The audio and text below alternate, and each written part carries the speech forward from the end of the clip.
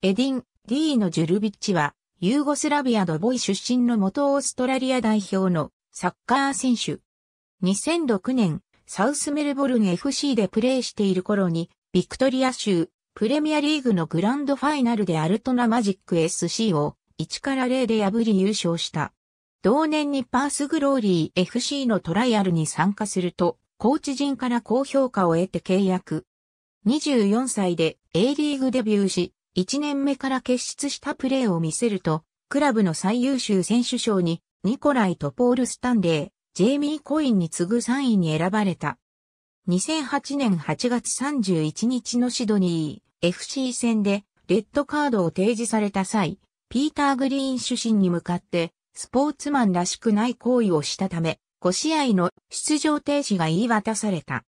2009年1月20日、ユース時代を過ごしたドイツ2部のロートバイス・アーレンに移籍するも、怪我のためにまともに出場できなかった。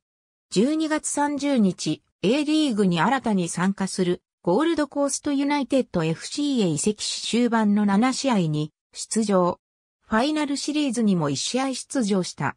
2010から11シーズンもレギュラーを務め、チームの堅守に貢献しながら3得点を挙げた。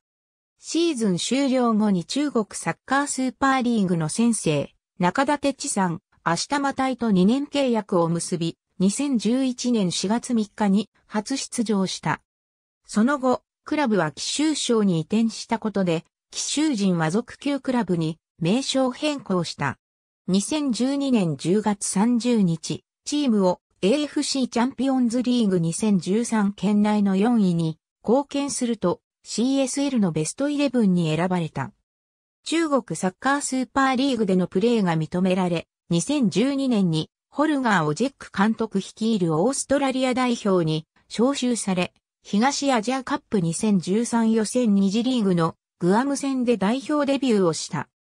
Topor-Stanley top of the class, Glory defender Dino Djulbic banned, now facing fine,バーテデジャージャルビックファーレストオレイン、ゴールドコースト、フューリー・ウォント・ムーア、ジャルビック、バウンド・フォー・チャイナ、フォーマー・ゴールド・コースト・ユナイテッド・アンド・パース・グローリー、ディフェンダーディーのジャルビック、ウィンズ CSL オール、スタープレイス。ありがとうございます。